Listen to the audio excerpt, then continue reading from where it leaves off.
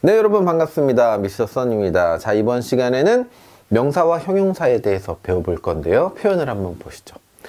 소년이 있고 아름다운이 있어요. 자 이렇게 두 단어의 관계를 한번 생각해 보겠습니다. 두 단어의 관계. 관계는요 무슨 관계냐고 하면은 이거를 어, 무슨 관계라고 할까요? 명사와 형용사 관계다. 이렇게 부를 수 있겠습니다. 명사와 형용사 관계 자, 문장을 이루고 있는 수많은 품사들이 있지만 그 중에 가장 중요한 관계가 바로 명사와 형용사의 관계입니다. 왜 둘이 중요하냐면요. 우리는 명사를 하나 던져놓고 그 어, 형용사를 붙여서 꾸며주길 좋아합니다. 어, 문장 안에 어떤 명사가 있으면요. 그 주위에는 꼭, 꼭 주위에는 형용사들이 들러붙어서 명사를 꾸며주고 있습니다. 어, 그러니까 마치 뭐랄까요. 음, 꽃이 있으면은, 음, 나비가 있는 거랑 비슷한 거죠. 어, 명사가 있어. 그럼 옆에 형용사가 있게 돼 있다니까요. 그래서 명사, 형용사 관계는 굉장히 중요합니다.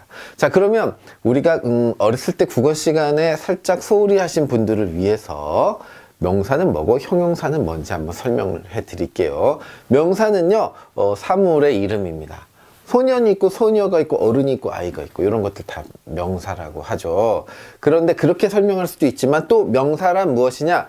형용사의 꾸밈을 받는 녀석 이렇게 생각해도 그게 명사입니다. 틀림없습니다. 아름다운 해놓고 무엇라고 하면 걔네들 다 명사라니까요. 아름다운 하늘 해도 하늘 명사라니까요. 자, 그래서 명사가 뭔지는 알겠는데 그러면 형용사는 뭘까요? 자, 여러분 형용사는요. 형용사의 정의는 그냥 딱 한 가지입니다. 명사가 있는데 그 옆에서 혹은 그 주위에서 명사를 꾸며주고 있으면 그 녀석이 형용사입니다. 그러니까 형용하고 있다 뭐 이렇게 생각하시면 되겠죠. 자 이거를요 좀 더 쉬운 이름을 붙여주자면 형용사라는 이름 대신에 저는 어, 명사 꾸미게 이렇게 어, 어, 이름을 붙였으면 어떨까 싶기도 할 만큼 그냥 형용사는 명사 꾸미기예요. 왜 우리가 안경닦개가 있으면 어, 안경닦개는 뭐에다 쓰는 거죠? 라는 질문을 할 필요가 없죠. 이름이 안경닦개인데. 얘는요 어, 명사 꾸미개예요. 그럼 얘는 어디다 쓰는 건가요? 라는 질문을 할 필요가 없죠. 왜 명사 꾸미개라는데. 그렇죠? 그래서 명사와 형용사 관계는 음, 굉장히 중요하다. 자 그런데요. 이탈리아에서 특히 더 중요한 부분이 있습니다. 뭐냐면 형용사가 명사를 꾸미는 거 우리가 이미 어, 얘기했는데 문제는 말이죠. 뒤에서 앞으로 꾸미네. 자, 요거를 우리가 좀 생각해 봐야겠어요. 우리말에서는 어떻게 하냐면 아름다운 소년 하겠지만 이탈리아어에서는 어떻게 소년 아름다운 요 순으로 말한다고. 이, 어, 아름다운 뒤에서 앞으로 거꾸로 꾸며주고 있다고요. 이게 우리와 어, 같지 않기 때문에 어색할 수 있다고요. 그러니까 소년 아름다운, 소년 아름다운 우리말로도 그 어순을 좀 느껴보세요. 소년 아름다운 그러면은 오 예쁜 여자가 있어 그러면 여자 예쁜 이렇게 해야 된다고요. 멋진 남자가 있으면 남자 멋진 이렇게 해야 된다고요. 자 여기까지 제가 어, 드린 말씀이 명사와 형용사의 관계에 관한 거였습니다. 자 이제는요 이 중에서 아름다운이라는 형용사를 딱 띄어서 한번 생각해 볼게요. 아름다운. 자, 우리말로는 아름다운. 영어로는 beautiful. 자, 이렇게 이야기할 수 있는 아름다운이라는 단어입니다. 그런데 말이죠. 여기서 한 가지 이야기가 더 시작되는 게 이탈리아어로는요. 뭐라고 하냐면 멜로라고 부른다고요. 근데 여러분 느낌이 쎄하죠? 왜? 얘는 크대, 얘는 이렇게 작아. 왜 작은 걸까요? 여기에 좀 더 있습니다. 더 있어요. 우리가 그 지난 시간에 동사의 여섯 가지 변형에서 살짝 오 이거 뭐냐 이렇게 음, 충격을 받으셨을 분도 있을 텐데 요번에는 그 정도는 아니고요. 좀 더 간단하고 좀 더 규칙적입니다. 자 보세요. 음, 벨로 벨라. 자 두 개만 더 나면 돼요. 벨리 벨레. 자 요게요. 아름다운 아름다운 아름다운 아름다운 죄다 아름다운이라는 뜻이에요. 우리 이거를 간단히 한번 정리하자면 이렇게 할 수 있어요. 로랄리레 이렇게 할 수 있습니다. 로랄리레 이게 무슨 순서냐면요. 어, 남자 단수, 여자 단수, 남자 복수, 여자 복수. 그래서 남녀, 남녀고요. 로라릴의 남녀 남녀고요. 또 어, 단단복복입니다. 남단 여단 남복 여복 이렇게 생각할 수도 있어요. 어쨌든 로라릴인데 멜로 벨라 벨리 벨렘 이 모두가 아름다운이라는 뜻을 가진 형용사다라는 얘기죠. 그런데 이 로라리레를 우리가 뭐라고 부르냐면 왜 우리 그 배운 거 있잖아. 그 배운 거 뭘 배웠을까요? 뭐 배웠냐면 음 로라리레 이렇게 할 수는 없잖아. 그죠? 로라리레를 배웠다 이렇게 할 수는 없잖아요. 그럼 뭐 배운 거야 우리? 아름다운 배운 건가? 그것도 좀 그렇잖아요. 아름다운 배운 게 아니라 우리는 지금 뭐 배웠냐면 형용사의 성수를 배웠어요. 성수. 정확히 말하자면 형용사의 성수에 따른 변화를 배웠습니다. 음, 좀더 간단히 하면 형용사의 성수 변화 네 가지를 배웠다. 이렇게 얘기할 수 있어요. 왜 성수냐면요. 성이라는 게 뭐냐면 남녀 남녀잖아요. 지금 우리 남녀 남녀 배웠죠? 그러니까 성이지. 수는 뭡니까? 한 놈이냐 두 놈이냐 이게 수잖아요. 이게 단단 복복 배웠잖아요. 그래서 수죠. 그래서 형용사의 성수 변화를 배웠다. 이렇게 할 수 있고요. 이 말을 이용해서 다시 정리하자면 이탈리아어의 형용사는 성수에 따라서 네 가지로 변하는데 네 가지로 변하는 형태가 뭐냐면 그때 우리가 이걸 할 수 있는 거죠. 로라리레로 변한다. 이렇게 말할 수 있는 겁니다. 그러죠. 음, 약간 약간 복잡하게 느낄 수도 있어요. 여러분 마음을 제가 어, 모르는 건 아니에요. 그런데 음, 요게 다야. 뭐 더 없어요. 어, 뭐, 막 성수하니까 뭐 되게 어려울 것 같은데, 어, 그냥 이렇게 음, 네 가지로 형용사가 변하는구나. 이, 이 정도가 다고요. 그냥 요거에 살짝씩 응용입니다. 그러니까 음, 답답하게 생각하지 마시고 빨리 내 걸로 가져가세요. 이렇게 하셨으면 좋겠고요. 자, 이게 그 형용사의 성수라고 했는데 여기서 여러분 한 가지 어, 의문이 있다면 여러분은 굉장히 집중하고 계신 거예요. 뭐의 의문이냐면 자 보세요. 도대체 성수는 누가 정하는데? 요거. 이 질문 여러분 하셨습니까? 만약에 하셨다면 어, 센스쟁이이고요. 안 하셨다면 제가 지금 해드렸으니까 오케이고요. 자 보세요.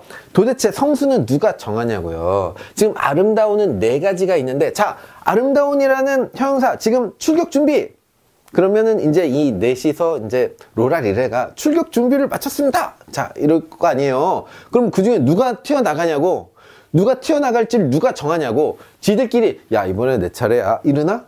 그건 아니겠죠. 누가 정하냐 하면, 이 형용사가 꾸며주는, 아, 형용사니까 꾸며주잖아요. 그죠? 형용사는 명사를 꾸미기 위해 태어났다며. 이 형용사가 꾸며주는 어떤 명사가 있는데, 그 명사의 성이나 수에 따라서 이 형용사가 결정됩니다. 그렇죠? 자, 음, 뭐랄까. 저는 정말 최선을 다해서 간단하게 설명드린 거예요.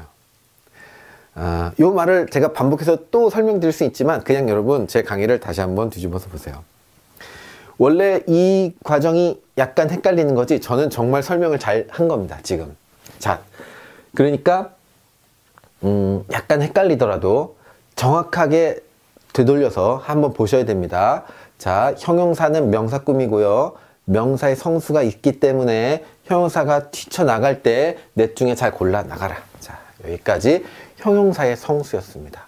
자, 여기 이어서 이번에는 명사의 성수에 대해서 한번 배워보도록 하겠습니다. 명사 얘기하면요. 세상엔 정말 수많은 명사가 있죠. 그런데 왜 저는 하필 그 중에 웨이터라는 명사를 꺼내 왔을까요? 의자도 있고, 뭐 책상도 있고, 뭐 TV도 있고, 뭐 많은데. 왜냐하면요. 모든 명사에 대해서 지금 이야기하려는 게 아니라 특별히 이 신분을 나타내는 명사들 있죠. 어, 거기에 대한 얘기를 하려고 그래요. 왜 신분이냐면 신분 나타내는 건 사람일 거 아니야. 그죠? 사람의 남녀가 있죠. 남녀. 그리고 혼자 다니기도 하고 여럿이 다니기도 하죠. 그래서 어, 신분을 나타내는 명사에는 특별히 그 신분의 어, 성과 수를 정해주는 표현이 같이 있습니다. 자, 이게 무슨 현상이냐면요. 우리 이미 영어에서도요, 웨이터, 어, 그리고 이것의 음, 여성 표현, 웨이트리스 이렇게 있죠. 또 있습니다. 액터도 있고 actress도 있어요. 영어에는 이렇게 남녀를 나누는 표현이 많지는 않습니다. 그런데 이탈리아어에서는요, 이와 같이 무슨 선생님, 학생, 혹은 뭐 한국 사람, 미국 사람, 이탈, 이탈리아 사람, 뭐 이렇게 할 거 없이 사람의 신분을 나타내는 명사가 딱 등장하면요, 얘네를 그대로 네 개로 나눠서, 네 개로 나눠서, 남녀, 단수 복수, 이렇게 네 개로 나눠서, 어, 일일이 지칭하는 표현이 있습니다. 어떻게 나누냐면, 방금 배웠던 로라리레 똑같습니다. 형용사랑 똑같이 움직여요. 자, 한번 보시죠. 꼬레아노. 한국 사람이란 뜻이죠. 한국 남자가 꼬레아노예요. 그럼 한국 여자는 뭐냐면 꼬레아나. 제가 이거 알려드렸잖아요. 로라리레. 그러면은 어, 한국 남자들 여자들은 리레를 붙이면 되죠. 꼬레아니 꼬레아네 이렇게 하면 한국 남자들 한국 여자들 이렇게 됩니다. 자 그러면 이번 시간의 결론입니다. 결론. 우리는 지금 어, 떤 표현을 말하기 위해서 지금까지 달려왔습니까?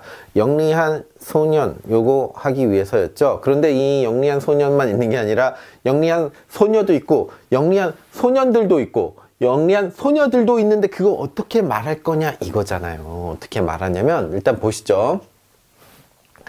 라가쪼 스벨료 이렇게 부릅니다. 영리한 소년 일단 다 볼게요. 어떻게 되나. 자, ragazza sveglia, ragazzi svegli, ragazze sveglie 이렇게 합니다. 한 번 더 읽어볼게요. 아무 생각 없이 한번 읽어봅니다.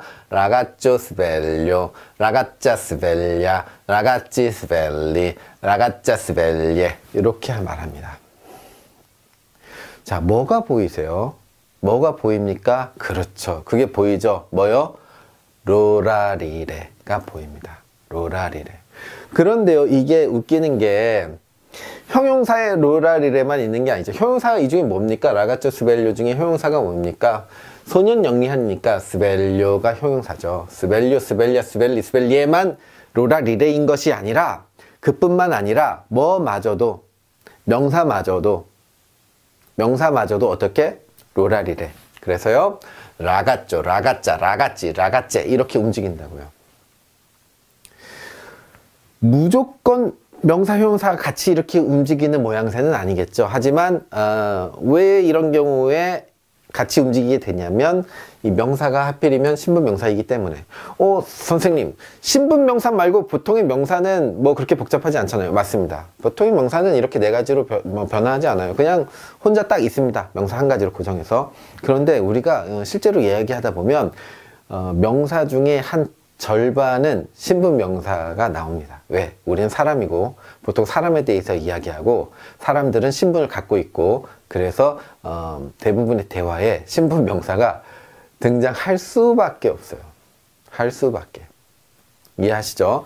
그래서 신분 명사를 자주 쓴다고 생각해 보면 명사의 형용사의 관계는 항상 이런 식으로 움직입니다. 어차피 우리 형용사의 로라리레를 배우는 김에 신분 명사의 로라리레를 같이 배워서 두 개 같이 움직이는구나 이렇게 한 번에 배우니까 한 방에 쫙 끝나고 좋잖아요. 그쵸? 그래서 여러분 이번 시간에 어, 소년영리한 요것도 배웠고요. 로라리레 로라리레도 배웠고요. 자 이렇게 여러 가지를 배운 아주 유익한 시간이었네요. 여러분 그렇죠? 자 요거를 다시 한번 쭉 읽어볼게요. ragazzo sveglio ragazza sveglia ragazzi svegli ragazze sveglie 자 그런데요. 저랑 이렇게 막 연습을 했지만 실제 여러분은 어떻게 연습해야 됩니까? 자 요거 없이 안 보고. 자 야 얘네 아주 똘똘하게 예, 몽글몽글하게 생겼죠? 얘네만 보고 하나씩 하나씩 하나씩 하나씩 이렇게 읽는 연습을 30번 하셔야 됩니다. 30번. 네 수고하셨습니다